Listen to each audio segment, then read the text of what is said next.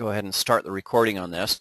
Uh, but first of all, I want to thank Academy for providing this for us. They, of course, are a sponsor of this training program, so they help make it possible so that everybody can attend for free, which is a real, it's a great asset for our company to have this.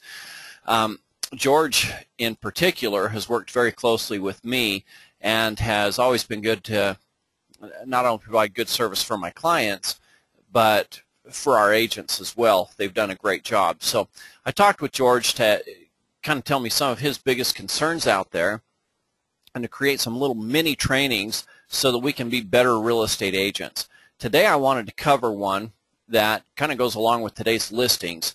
Uh, one of the big problems that George is seeing out there is agents that list condos and they have no idea you know four or five months into the listing it even goes under contract they have no idea if that condo is warrantable or not. So let's discuss really quickly what that is. We're going to go over conventional guidelines, FHA guidelines, and non-warrantable transactions.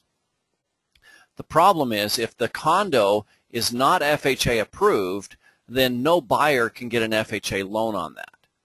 And in our advertising, we list uh, particularly if it's you know the types of loan programs that are available. Like on the MLS, for example, I'm going to check that you know they can buy it with cash, they can buy it with a conventional loan, with FHA or VA, and this is something that I need to know up front. So how do I figure out if my condo listing is warrantable? Well, let's go over the definition first.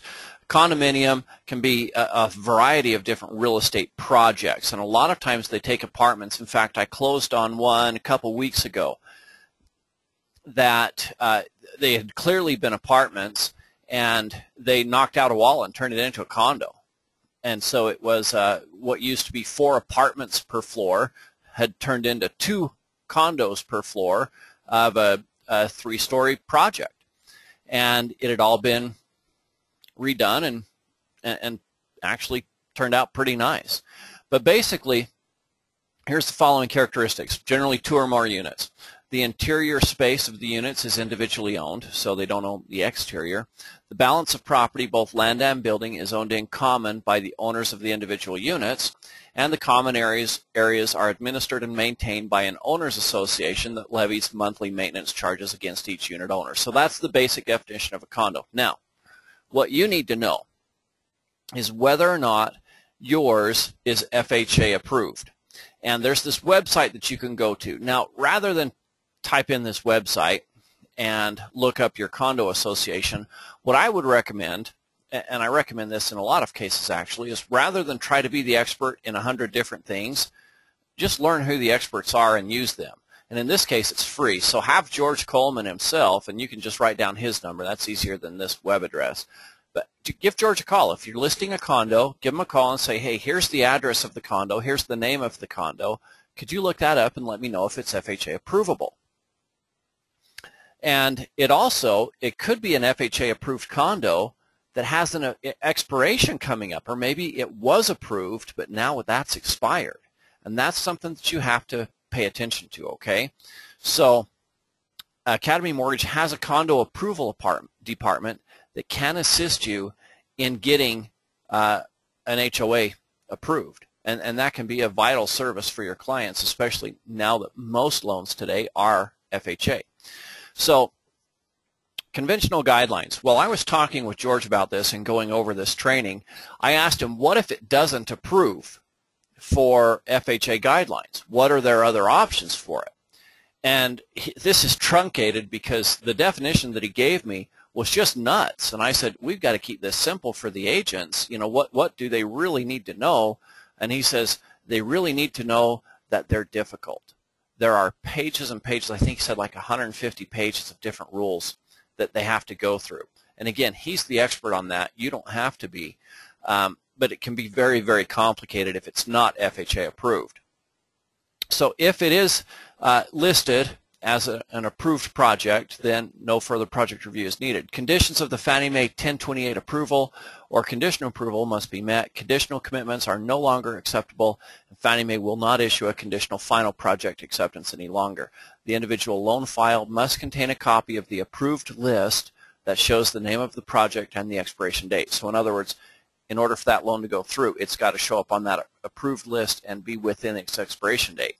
So if your project does not show up in the Fannie Mae website under the approved list, then the automatic underwriting system will dictate a limited review or a full review.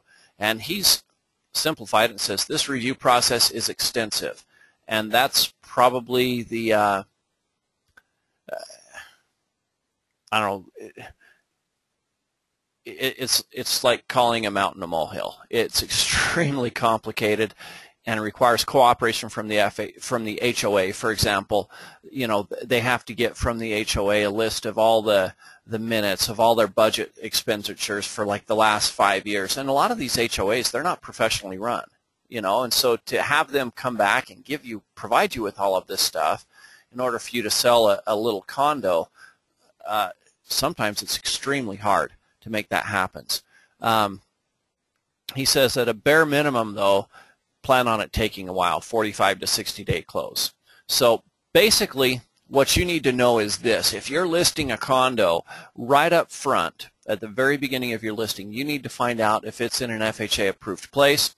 And the best way to do that is to contact George. Get Send him an email, george.coleman at academy.cc. I think that's probably the easiest way to get a hold of him and say, here it is, here's the address, what can you tell me about it? And George can help you with that. With that said, let's jump into our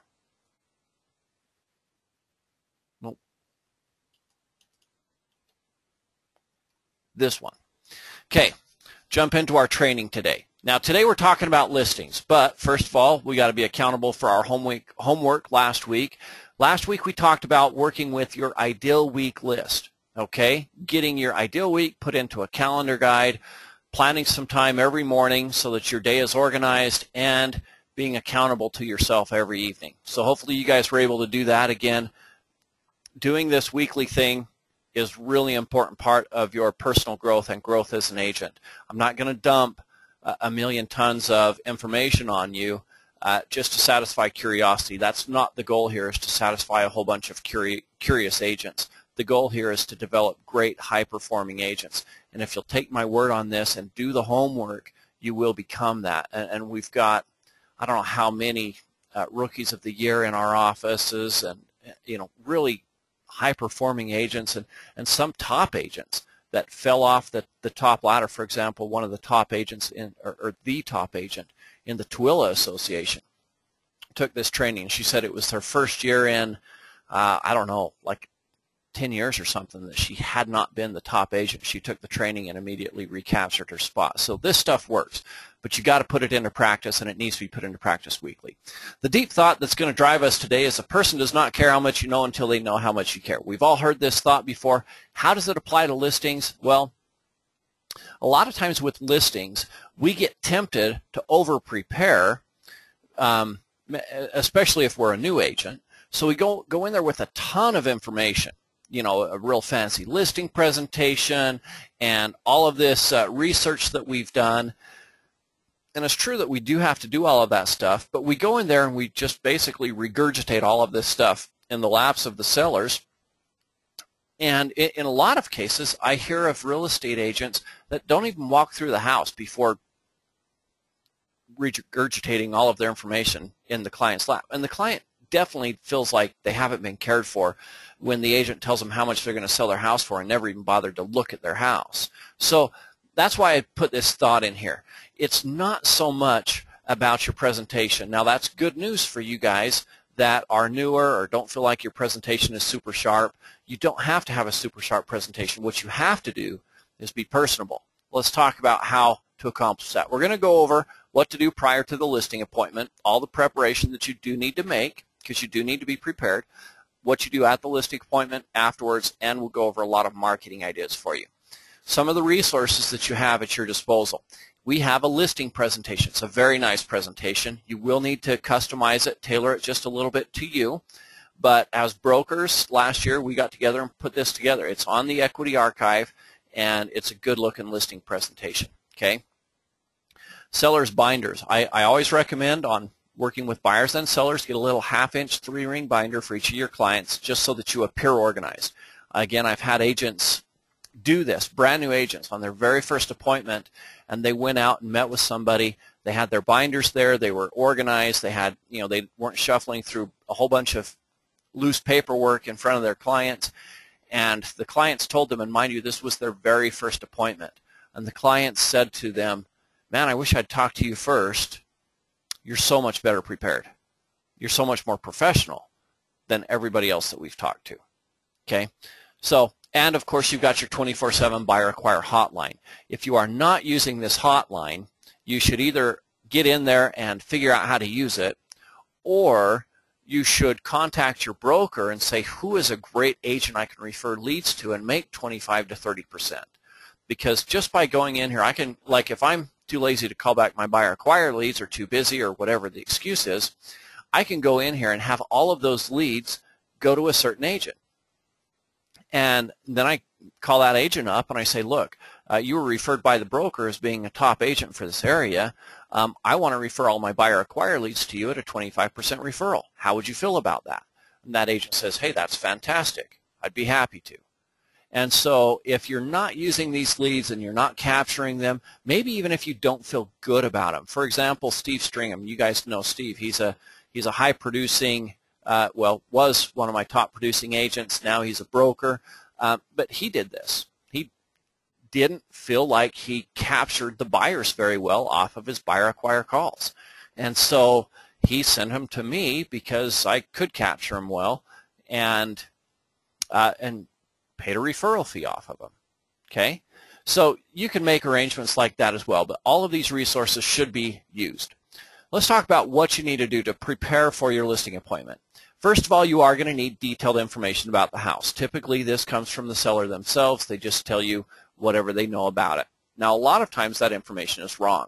For example, I've had people tell me the year of the home. This happens a lot with new homes because they say, you know what, we uh, yeah, we're the only owners of it, and it was built in 2006.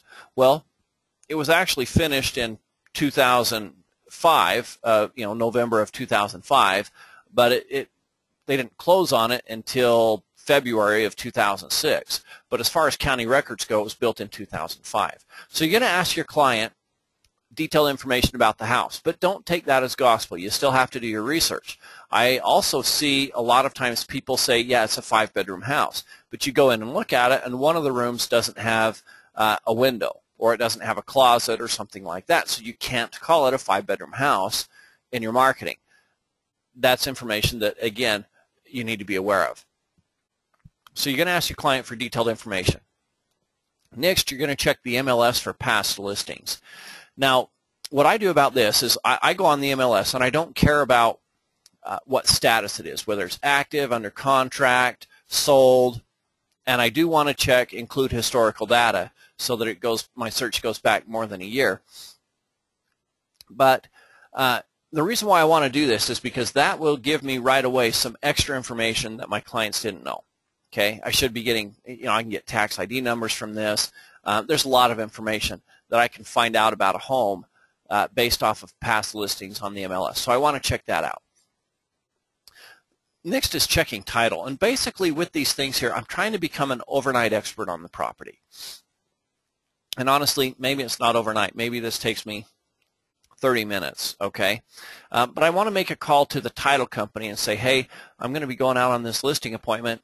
I need to make sure that I'm meeting with the right owners of the property. You guys have uh, attended that training with me a few weeks back where we talked about some of the common purchase contract challenges and one of them that we discussed that's actually fairly common is people meeting to sell the home and they're not all the owners of the property or maybe they're not even owners at all. I've seen children sign listing agreements when it's the parents that own the home. Now obviously they're grown kids, they're you know in their 20s or whatever, they've gotten married, but their parents are the owners of the home and the kids sign the listing agreement. It's completely invalid and it's a huge waste of that agent's time.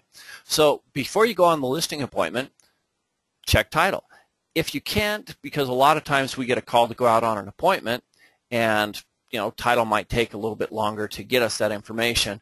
Either way, call title as soon as possible so that you don't waste a lot of time. The most common scenario where we find problems with this is in cases of divorce. You know, a lot of times if there's a divorce, they decide to sell the family home. but spouses aren't talking to each other or cooperating with each other very well. And so checking title tells you that there are two owners of the property. They've both got to sign your listing agreement for that to be valid. So you're going to have to find out a way to meet with both of them. And that's good information to have up front. Next, you're going to prepare your comparative market analysis, and I'll show you that in just a second here, actually right here.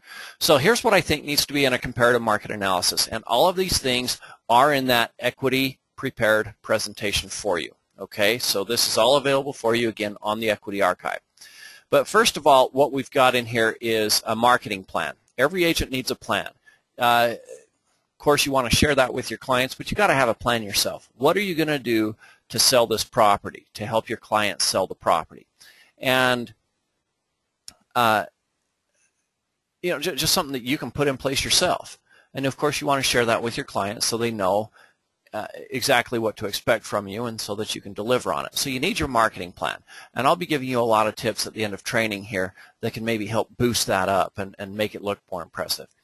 Next, you've got a market analysis explanation. We need to explain to our clients uh, why we're why you know what comparable properties are, what a market analysis is, um, why we're not comparing the uh,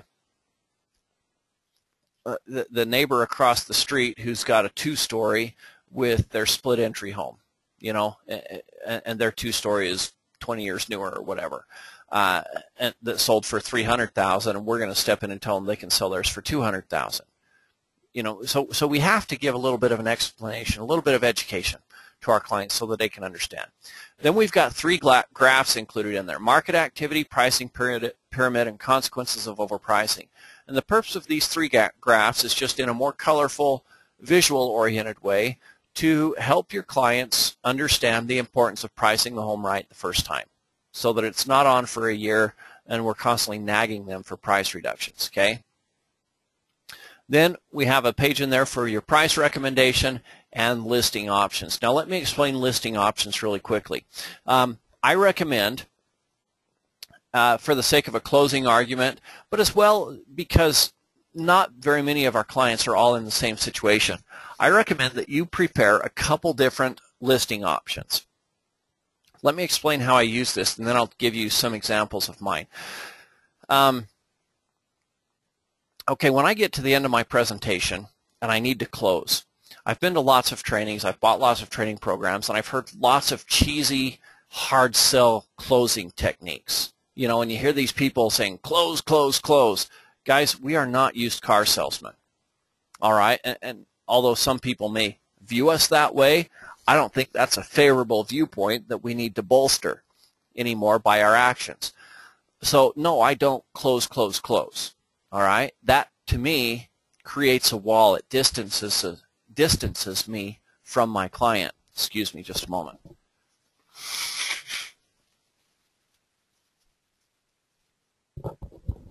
Okay. Um, what I want to do is I want to provide some good information to them, help them make an educated decision, show them that I am, uh, that I've got a fantastic marketing plan to take care of their goals, and then I want to find out what their goals are and give them some different options to accomplish those goals. So in my closing technique, rather than say, so if you don't have any questions, here's the paperwork that we need to sign. That's assuming the sell. There's not necessarily anything wrong with that. It's just very awkward for me and uh, most people to do that kind of close, or there's a lot out there that are much worse than that. Um, for me, what I like to do is I get to the end of my presentation and I say, okay, so the only question left is how much would it cost to sell your home? Hopefully you guys know that uh, I will be doing as much or more than any other agent out there with my marketing plan. You've been able to understand what homes are selling for. Now the only question left is how much money can you get out of your home? So we've got to determine a, a price for it and what listing option works best for you and I've got three different listing options for you. And, and guys, I've used, I've had lots of different things. One, I had a 7% listing option, and I provided moving services for my clients. If it was over a $200,000 home, I had a mover that would help them move locally for $2,000.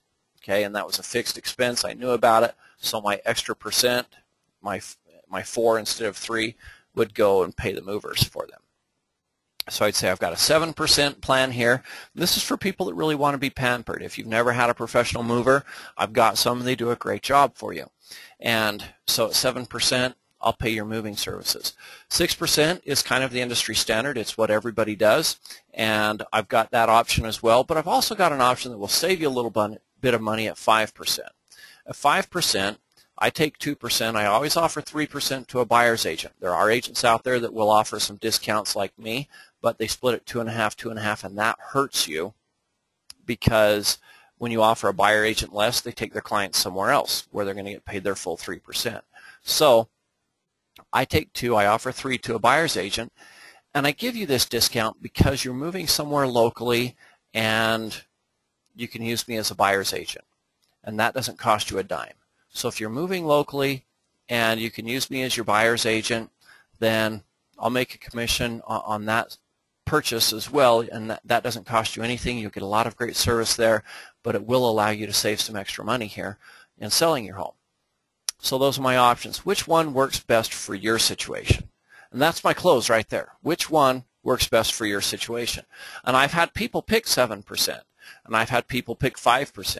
And sometimes, you know, if it's uh, like if going into it, somebody told me that they were just flat broke and they had no equity, I might prepare a cheaper option for them. This is totally up to you.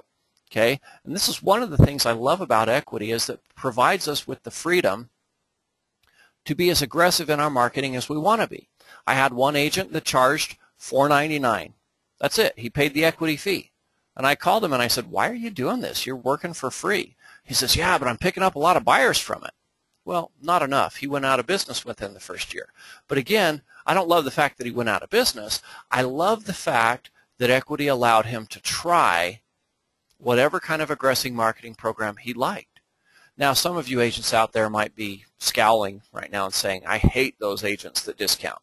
Well, hate them or love them, it's legal, it's your competition, and as an equity agent, you have the right to be as competitive or aggressive or whatever that you want to be. I know a lot of agents that will not negotiate down on their commission, and that's fine too.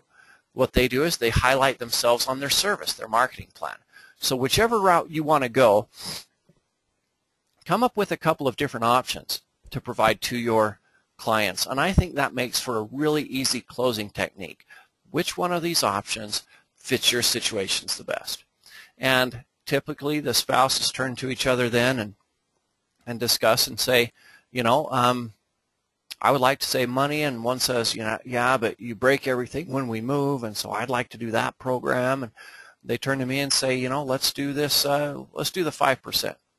I say, okay, fantastic. And I will have a buyer broker agreement there with me, and they'll sign a listing agreement and a buyer broker agreement with me on the same day. And I've done that many times. Okay, so anyways, this is what I think needs to comprise your market analysis. We're going to put all this together now. We're going to get, we've got our detailed information about their house, our own research that we've found here. We've got our market analysis. We need to add to that a short introduction for us and the company just so that they know who they're dealing with. Explain the comps, the price, explain our three different pricing options, resolve concerns. Okay, so all of this stuff is what we've got ready to go when we go meet with them. And this might look like a lot of information here, but once you've got your listing presentation put together and you've got your pricing options done, then all you have to do is change the name on the page to their name and you're ready to go. You've got to make a call to title. You got to do a little bit of research from the MLS about past listings, but you should be able to do all of this stuff in a half hour to an hour tops to be ready for your listing presentation. Okay, so that takes us to the listing appointment. Now here's the most important rule that I can pass along to you guys today. Okay, your listing appointment needs to last no longer than one hour. And here's the reason for that. You've all been in meetings where it was advertised, you know, that it would end, let's say it would end at noon.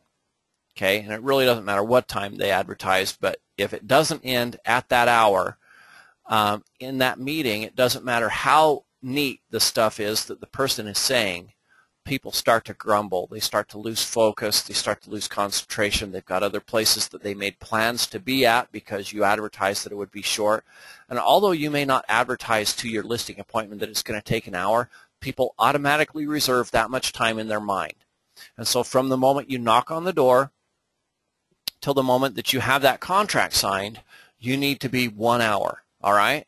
Now that's going to take a lot of work. My first appointment was two and a half hours. It was my own neighbor, and I did not get the listing because I, I just took too long. And even though I think they liked me personally, well, I know they liked me personally. We were on good terms with them.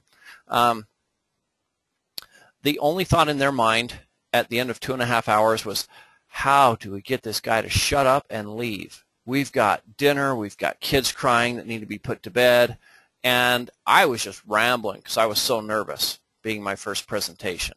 Okay, so learn from my mistakes. Don't make the same ones. So here's what needs to comprise your hour. First of all, you're going to greet and meet the family. Yeah, that takes a little bit of time. Meet everybody.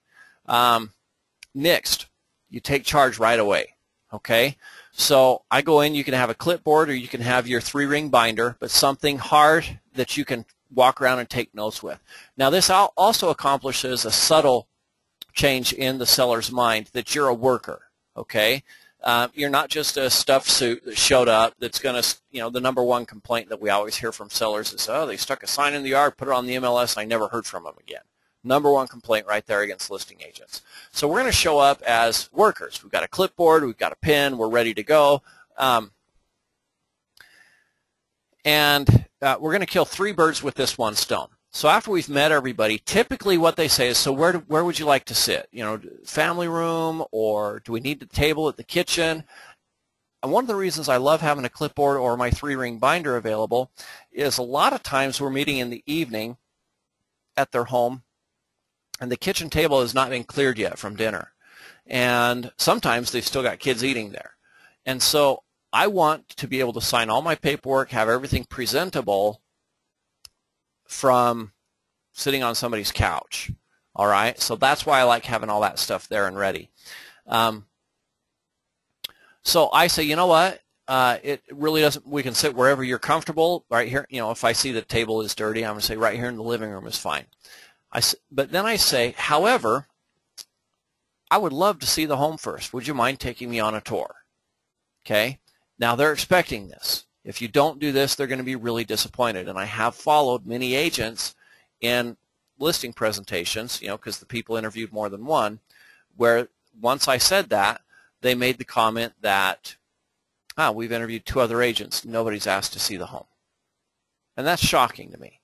Okay, so what I do is I, I drop my bags or whatever I brought with me. I grab my clipboard and I get ready to go through with my notes. Okay, now I'm going to be doing a couple of things here. The first bird I'm going to kill with this walkthrough is I'm taking notes for my remarks section. When I post this on the MLS, I've got 255 character spaces or whatever your MLS allows that you know I need to say charming bungalow with hardwood floors or blah blah blah blah blah. You know I, I need to be creative at some point down the line. So I'm going to take notes for that because in my hours time segment that I've got today, I don't have time to get creative with my remarks, okay? I'm not going to try to put all that down on paper today for them to sign. I'll tell you how I how I get around that later on, but but right now I'm just taking notes. The next thing I want to do is I want to introduce the concept of fixtures. It's amazing to me how many people are selling their homes and haven't considered whether or not they're going to include washers, dryers, fridges, you know, those are the real obvious ones. And occasionally you'll see um, oh, people want to take their blinds with them or whatever. So I'll bring up fixtures. And, it, you know, in our MLS paperwork, it does mention blinds as, in, as an included item. So I'll just double check. So you're planning on leaving the blinds here, right? You know, and, and I'll usually pick something that I see right off in the first room and it's something silly like blinds or a ceiling fan or something like that. And they look at me kind of silly and say, doesn't everybody? I said, well, yeah, typically. However, if it's physically attached to the home, it's just understood that it will be included. And so if you've got some homemade shelves, something that's, that's you know, a, a, chandelier that's kind of a family heirloom or something like that, something that's valuable to you that is connected to the home, we need to make a special note that that is excluded from the sale. Otherwise, it's automatically understood to be included. Now, this is something that they did not know. And when I can set that tone right up front that dealing with an expert, even on some concept as simple as fixtures, when I can set the tone right up front that they're dealing with an expert that has knowledge that they don't have, they start to rely on me. And that's a, that's a good tone I want to set for the rest of the uh, interaction that we're going to have. Okay. The third bird that I'm going to kill is later on I'm going to be talking about price with the home. I've done my research already. I've probably already got it printed what I'm going to recommend that they sell for. However, I need to see the home. Now, occasionally, I'm surprised at how nice the place is. They've really done some nice upgrades to it. And so when I get to the place where I printed out how much they should sell the home for, I'll say, you know what, having seen the home, I think we should raise this. This would be the average. Your home is above average. You should ask for more. Okay, and I'm not afraid to verbally change what I have printed. Sometimes their home is not in good condition, and I'll do just the opposite. I'll we'll get to the end, and I'll say, you know what, this home would be uh, this would be the average sales price for a home. This home has a lot of issues, and I'll mention them specifically. They're of course painfully aware of the big stains on the carpet, um, holes in the walls, that kind of stuff. They're aware of it. I'm not shocking them with it. We're just being honest now. Okay? So you got to be honest with your clients. So I've met the family. I've walked through with the clipboard. That's eaten up 15 to 20 minutes of my one hour time. Now this is important time spent, but it has eaten into my hour. So I've got to have a listing presentation I can deliver in 40 minutes or less. So you've got that one that equity provides for you. When you go through that, there's some fluff in there that you may not need. All right, go through that, trim it, personalize it to you, and make sure that it's something that you can deliver in 40 minutes tops. All right, because once that's delivered, you still got to sign some paperwork. So we're going to ask which plan fits their needs the best because we have a couple different plans available for them and close. Now, I do this before I talk price okay? Because sometimes, you know, I'll make a price recommendation in my listing, but I'll let them know right there. I'll say, uh, and this is part of my presentation, I'll say, you know what, some agents have different strategies. Some will come in and they'll use the three highest comps on the market and tell you that your home's worth 250 when it's only going to sell for 200. They know it's not going to sell for 250 or maybe they're just brand new to the industry and they don't know anything. But you can see clearly here, and, and by the way, I will with my comps, I don't feel inclined to pretend I'm an appraiser and limit myself to providing only three comps. There's no need for me to do that. I'm not bound by any rule to do to do so. What I don't want to do is provide them with all the comps, you know, dump 40 in their lap because that's information overload and they won't be able to make a decision that night. I'm not doing them a favor with that. What I do use, and I just use a rule of thumb that I learned as an interviewer when I used to manage for another business, is as an interviewer, we could look at two, three pages tops of people's job resumes without being overwhelmed with the information. We, we could get a firm grasp on that. And so if I'm fitting three comps on a page, I can provide two or three pages of comps my clients can easily grasp that information. So I'll try to fit in a couple of comps on the highest end, you know, the stuff that has the granite countertops, and my client doesn't have that stuff. But I'm going to include a couple comps in there the show homes being sold $50,000 higher than theirs will sell for because it's got a list of all of these upgrades that have been done. I'm going to include some comps on the low end, some of the bank-owned homes that were trashed or whatever, and some of the average comps.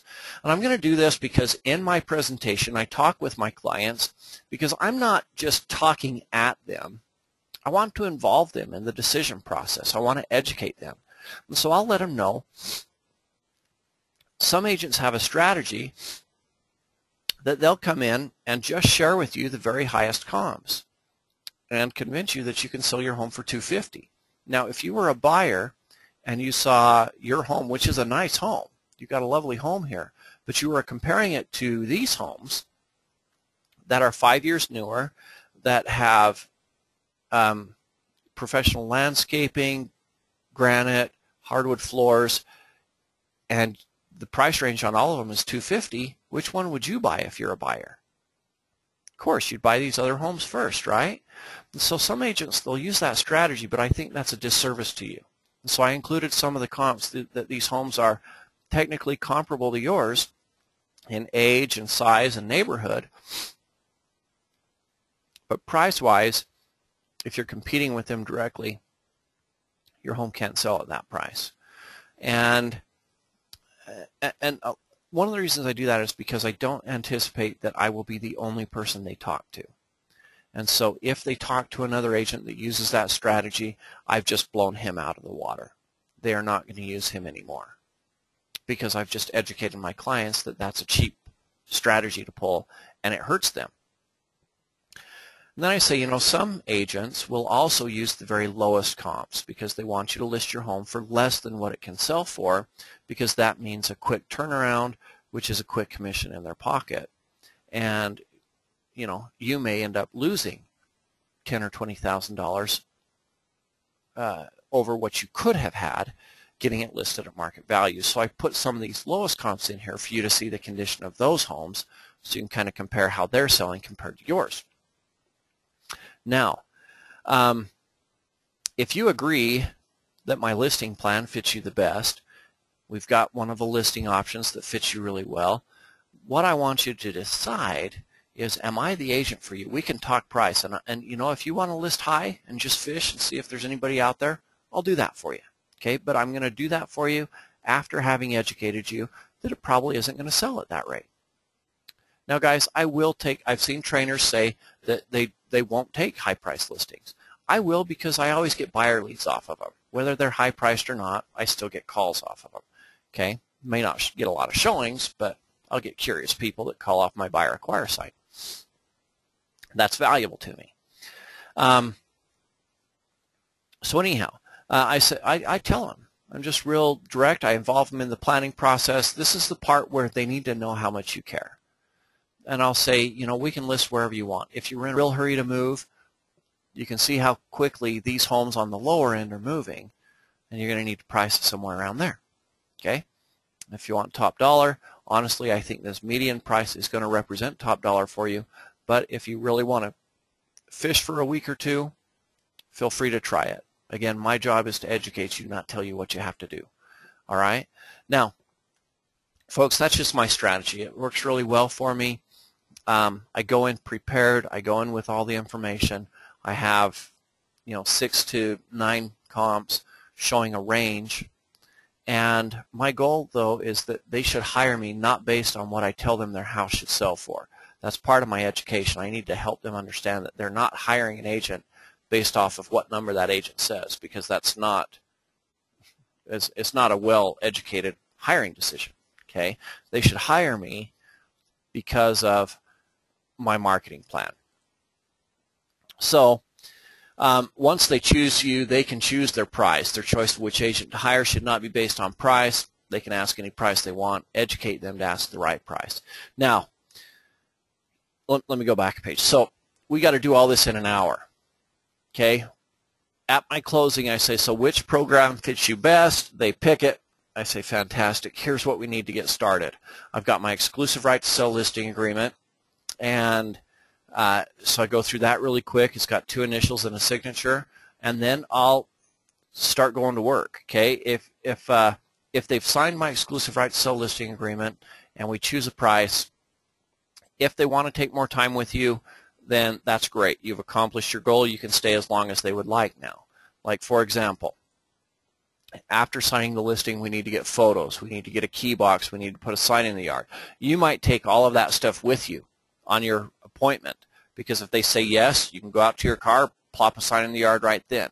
Most of the time, they're not, well, not most of the time, but quite often, they're not ready for photo, excuse me, for photos to be taken Uh, they don't have a spare key for you for your key box or anything like that, so I'll end up scheduling for a day or two later to come back and get this stuff done. The other thing that I need to do is there's other paperwork, my seller's disclosures.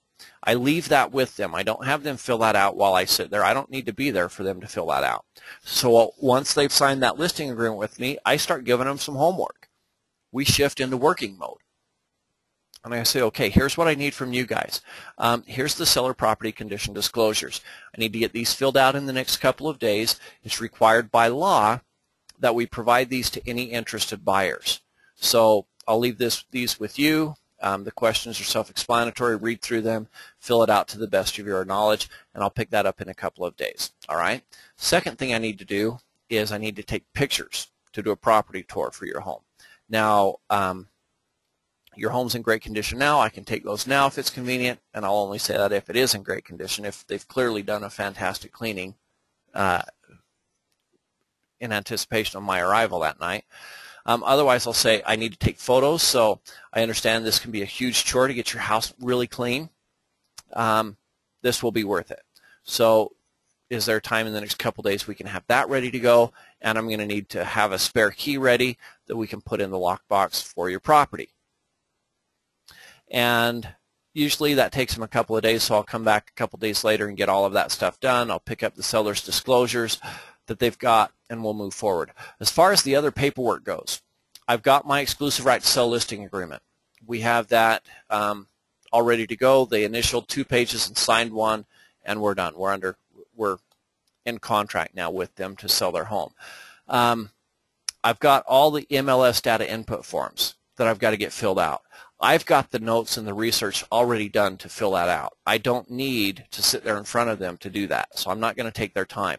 I'm going to have them initial right there, the bottom of all those pages, show them all the notes that I've got, and just say, guys, um, I've got the notes to fill this in. You're just signing a blank form here. I'll fill in all the gaps later, and as soon as I get it listed on the MLS, I'll email you a copy of that MLS listing for you to sign off on and make sure that everything looks accurate.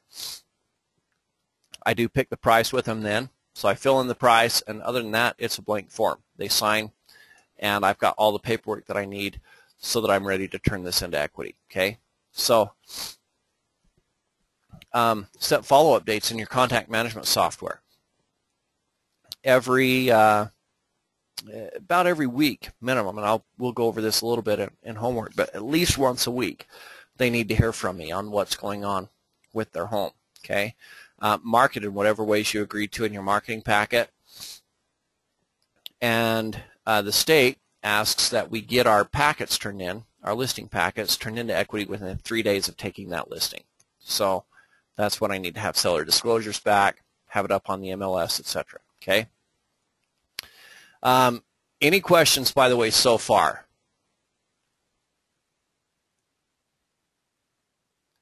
Okay, if you've had any questions up to this point, give me just a second.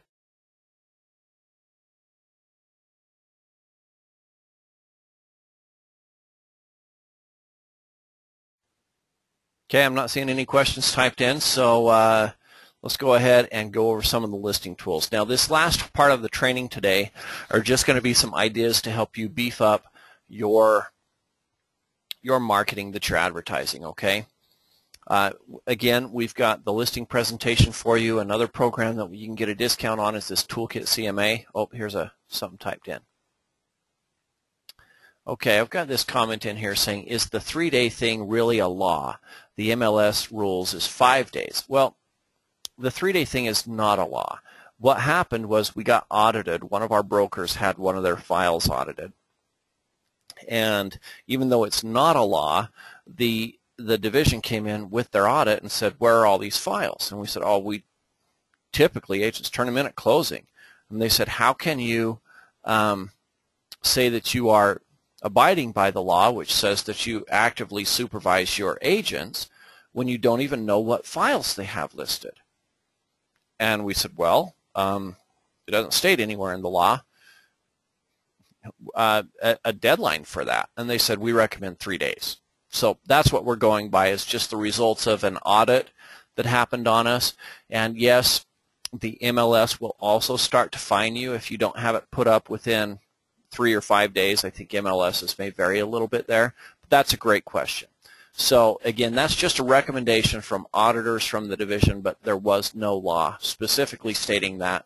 But that's our recommendation from equity is get that listing turned in within, you know, even if it's within a week, you're probably going to be just fine. Okay, so it shouldn't stress you out, but within a week you should have all that paperwork. You should definitely have your seller's disclosures. You should definitely have it in the MLS by then, and and therefore uh, your broker should have a copy of it. All right. Um, other advertising tools.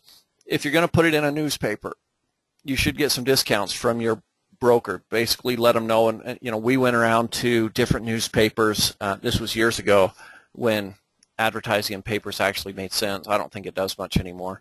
But we went around to the different newspapers and negotiated discounts. So if the paper does not offer a discount, let your broker know, and your broker can probably negotiate a discount with that paper for your listing. Save you some money. All right. Let's get into some of the good tools, though. Postlets.com. Uh, and by the way, you need to take notes here um, if any of this is interesting. Postlets gives you a free account, and you can develop uh, basically full-page color flyers to advertise through different websites like Craigslist.com. So it's much better than the typical Craigslist ad, which is just word print, almost like you would see in a newspaper. So I can create a full-page color flyer, and it's free. And then I can use that link to post it all around on different sorts of web venues, uh, maybe even Facebook or something like that. So Postlets is a good one. Uh, speaking of Craigslist.com, I do know agents that get some good business from Craigslist. One of their secrets is they delete their old listings and repost each week Thursday mornings. Craigslist is, a, from what I understand, a last in, first out business model, meaning that the last ad to post is the first one that comes up on people's search engines. So if you post it once, and your listing is five months old, you're 10 pages in before people would ever see your listing. So delete the old listings, repost new ones on Thursday mornings so that you can come up higher on searches. Next, KSL.com or whatever your local paper is, they probably have an online version as well that you can advertise in. Now with KSL, I just learned this last week because I used to post weekly with them, but they have a cap on there and they actually shut down my account because I was advertising too much. I needed to buy a professional account, which was actually quite expensive, surprised me. They allow up to five free ads a month before you have to start paying them. Uh, I think it was 180 bucks was their next level up, and that only took you to 10 ads. So anyways, five free ads a month. So as soon as you list your uh, your property, even if you're taking five new listings a month, you should be able to get it free, at least with our local paper. Um, next, Spotlight Tours. And whatever tour company that's big in your area, again, uh, because of equity size, we can negotiate a significant savings for you. So we've negotiated some big savings with Spotlight Tours. There's several tour companies. You can find out on the Equity Archive, there's a vendors section, and you can see some of the different vendors there that we have negotiated savings with for our uh, for our agents. They just offered a webinar. This was through corporate uh, this last week. Uh, some of you may have attended that one, but they offered a webinar on contact management software that was that was a great tool for uh, social media marketing, and that is through Sharper Agent. And I believe we get that for half price for our agents. Um, Website. Equity provides you with a free website. We actually provide you, I think it's five free websites if you want them. Um, so you use you should be able to use that. Um, if you really want a, a, professional website, now there is a difference between what we can provide for free and uh, a, a real professional one with all sorts of tools and gadgets. Um, for example, I use one provided by ProAgent websites and Equity has again negotiated that for half price for you. So normally those are 80 bucks a month, and we got it to you for $40 a month. So some huge savings there for you through Equity, and we've also gone in and had a professional designer design a, a really good looking Equity template for you. So if you're going to get a lot into uh, website marketing to the point that your free site maybe doesn't have all the tools for you, then you could look into a ProAgent website. Uh, if you have any questions on that, on what a pro agent website does or something, I'd be happy to, to go over that a little bit as well if we have time. Yahoo Classifieds, there's lots of different free advertising venues out there. Here's one that I recommend, newsletters. Send out a newsletter every month, highlight your listings and your buyers. Maybe somebody that's considering selling, you don't know about it yet, gets your newsletter and they see a buyer that's looking for a home in an area like theirs. Okay? That seller might call you up and say, hey, you've got a buyer right now. I'm interested. Also, for your existing sellers, it's nice for them to see themselves in print. So when they get that newsletter with their home featured, that's nice for them.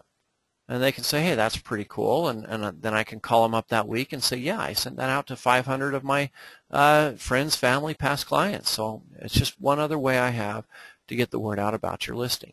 That can be a great tool. And I'm going to make a note of that myself because that's one of the things that I need to improve on. Um, okay, the question typed in just barely is, are there discount codes for these sites or logins we should use to get the discount? Uh, no, there are not discount codes or logins. What you need to do is just call the company, like for example, Pro Agent websites. Just give them a call when you're getting set up and let them know that you're an equity agent and you uh, and that they have a discount for you. Okay. Um, if you go into the equity archive under the vendor site, there may be some special information there for you, but otherwise a quick call to them. For example, I also use that electronic signature program called iSignHere.com. Saves me loads of time running around tracking signatures down. And we negotiated that for a discount for our agents as well. So again, you just call them and say, I'm an equity agent. I understand there's a discount for us. Okay. Um, and if there isn't, and it's a service that you think you'd get a lot of value on, again, let your broker know, and maybe we can get it for a discount for you. Uh, but the newsletter can be very valuable advertising to you. Hoofing it. Get out and knock doors. Go for a walk. We, we can all use the exercise. It doesn't hurt us that way. Some of the most successful, a lot of people don't knock doors because of pride. They, they think it's humiliating to be a door-to-door -door marketer. That's not what we're doing. Okay, uh, so get that image out of your head. Some of the most successful agents I've ever heard about, this is one of their primary modes of marketing because it's so personal. They, they get to meet a lot of people this way. So I've talked to a lot of agents that are very successful in selling their homes, and this is one of their rules. They always go out and knock all the doors in the neighborhood. And quite often they end up taking multiple listings in the same neighborhood. So if, especially if you do an open house, the only open houses I really hear success from is where they meet a lot of people right there from the neighborhood. They've hand-delivered a flyer announcing it, so always knock the neighborhood. This can really help you stand apart from your competition. Next, you've got that buyer acquire system. We've already talked about that, how important that can be. But I meet with, when I, in my presentation, I tell my clients that I will not be putting flyers in their yard. And some people gasp at that and say, but Agents have been doing that for years. Well, I challenge you, put flyers in your yard and then do on another house, put the buyer acquire system. See which one generates more phone calls. With me, the only time I get calls off of flyers is when my flyers run out and it's somebody calling to complain or my clients calling to complain, which seems to be what happened more often because they're hard to keep full. So you're spending a lot of gas, you're printing a lot of flyers, and in my opinion, and I share this with my clients, in my opinion, I'm unselling their home. Because what I've done is I've satisfied all the buyers' curiosity. They've taken the flyer, it's their, answered their questions, and they've moved on, and nobody knows they were even interested. Whereas with my buyer acquire system, they can get all the same information that a flyer gives them, but now I have their contact information and I know that they were interested in that home. Okay, it makes a difference. Now, if uh, if I want to make up flyers for my clients, I'll tell them let's make up some nice flyers and put them inside the house, and then people that come in that are serious about it, we're not just satisfying curiosity and they're gone. Now we're giving something lasting that they can take with them to remember your house by. And then you're not blowing through millions of flyers either. But I think that's the way to go as far as flyers go and your uh, outside advertising. Showingfeedback.com is a great free service as well. This doesn't cost anything. And basically what happens when somebody calls in to schedule a showing, you enter their information into showingfeedback.com. It automatically emails them to get their feedback on how the showing went. It'll send them multiple emails. You guys have probably been on the receiving end of these if you've worked with buyers. Uh, pretty common programs. This one happens to be free. Uh, most, a lot of them aren't. Um, but then it takes that feedback that they get and it makes it available 24-7 to your client. So your client gets a little portal that they can log into anytime they want and see the feedback directly from the horse's mouth. So you don't have to be the guy that bears the bad news. You've heard that uh, that adage, don't kill the messenger. Well, sometimes the messenger gets the blame. And when we call up and say, yeah, they said that your house smelled really bad and that it's overpriced. Yeah, that's an awkward conversation for me to have. I would much rather that they read it directly from the person that showed the home. Okay. Um, you've got open houses. We talked about that with knocking doors. That's where I think they come in handy. Uh, List Hub. Now, List Hub, you need to talk to your broker and find out if he's a member. Okay. If uh, and, and you should know whether or not your listings come up in List Hub because just just because your broker's a member doesn't guarantee you automatically get entrance into it. Uh, and this was a couple years ago. I don't know if their policy has changed, but when I signed up for List Hub, only my agents that had active listings at the time were automatically pulled into the system. Now this is a program that your broker pays for, so I pay a fee for this and all my agents get it for free. Now ListHub will try to get you to upgrade your account, of course, to a paid account which provides extra services, but for free you should have access to this. Now, what is ListHub? Well, it gets you on a whole bunch of sites. It totals more than 500 real estate search websites. So hundreds of websites out there. And here's just a quick smattering of the logos and lists that some people may recognize. And I try to include this type of thing in my listing presentation. You know, this is where people are shopping. 90, 95% of people start their shopping on the internet. My sellers know that. I want them to know that I am cutting edge as far as the internet goes. I've got my own website. I've got it on up to 500 other real estate search websites, basically anything that they can imagine. Um, I've got tools that get it posted on Facebook. Uh, I've, I've do my newsletter. Basically, if there's any form or venue of marketing out there, I'm using it. And most of them are free for you guys, very or very little expense because in this case your broker pays for it.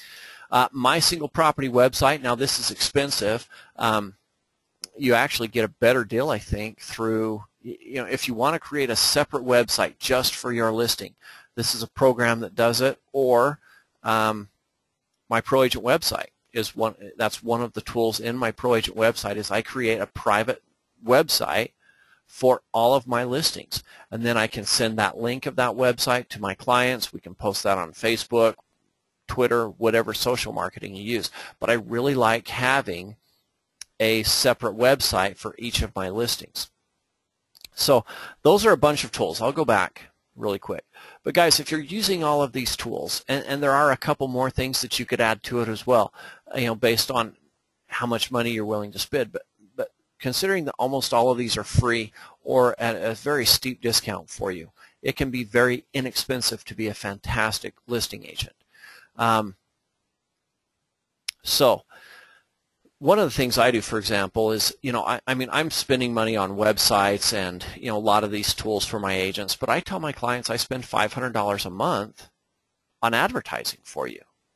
Now, does all of this add up to $500? Uh, definitely not. For you guys, since a lot of them are free through us, um, maybe 40, 50 bucks tops, okay? But I've, I've got an assistant that runs lots and lots of ads out there posting it and you know and I pay her some money as well. So I let my clients know you know it's just not feasible for an average for sell by owner to match the kind of marketing that I can do. I spend $500 a month on marketing and that's not a stretch. That's at least what I spend. Um, now let's talk about communication really quick. I've mentioned to you guys that it's the number one complaint against their listing agent is lack of communication. So you need a plan a real plan that you put into place on every instance.